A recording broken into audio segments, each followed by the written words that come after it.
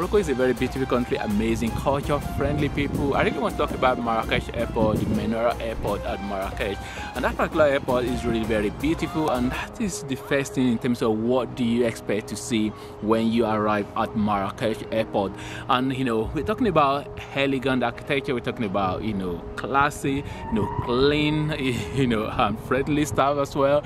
And you know, that's the first thing really. Another thing is that on arrival you're expected to complete some paperwork. Actually it's just one sheet of paper that we just have basic information about you and also where you're going to stay, you know, in Marrakech.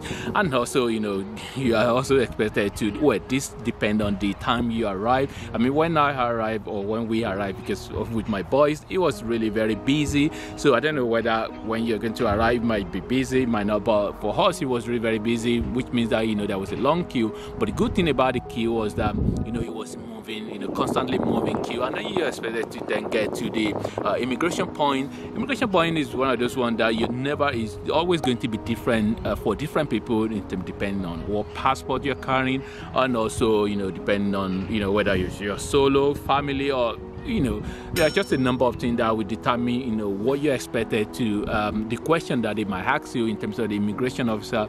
For me, it was just a basic uh, question about, um, you know, um, you know, what do you do for a living? I don't know. It was just a random question, and I just, um, uh, I just answered, you know, what I do for a living, and then that was it really. And then they then had um, to take a photo, almost like you are just uh, facing there was a particular camera small camera and then why they were um, i guess this is just for you know security or you know what have you which is just a normal thing at most airport nowadays where you they will take your photo and then you know they will look at your passport and then give your passport back to you.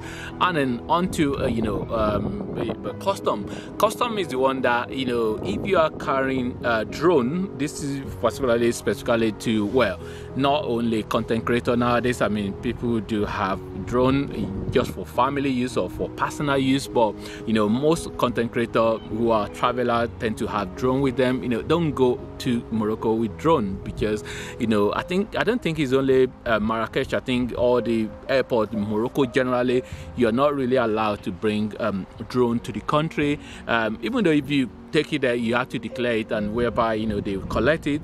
And then when you are then leaving the country or leaving the airport then you are going to then collect it back. They will give it back to you. So basically they won't allow you to use drone um, in, in, in, morocco. And you know it's one of those things that you know it's just the law there. So it's their rule. So you just have to obey their rule.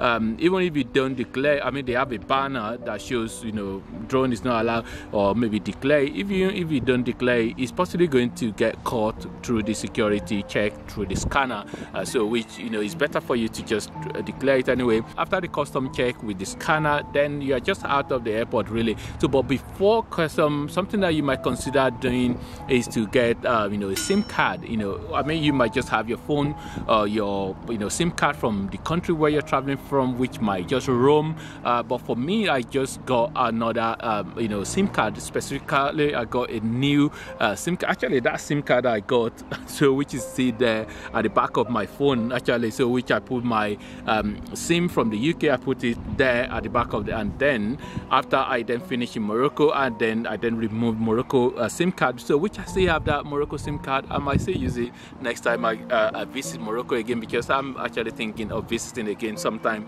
in the future. So you might get a SIM card um, which you can just buy you know some airtime or data you know on that sim card there or you might consider changing money as well you know they just have all of those just right there as well so after the uh, immigration check so you have option to just go around and do all of those. And uh, yeah so and then when you're returning it's just like something similar in terms of you have to pass through um, immigration and uh, maybe perhaps a custom as well. Um, you know so which you know all of these are just really very smooth and straightforward. And I think the, the one thing for me about this particular airport is just the beauty. How uh, I just really love the the architecture. I just love uh, you know how beautiful uh, it is, both from inside and outside.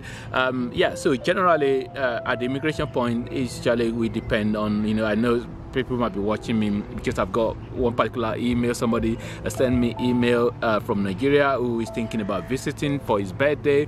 So you know, it just depends on which passport you're carrying in terms of applying for visa as well. You know, some countries have to apply for visa before they go and why some country is just visa free. So you just have to do a little bit of research to find out uh, you know but this particular video is specifically just about you know what you're expected to uh, to see at the airport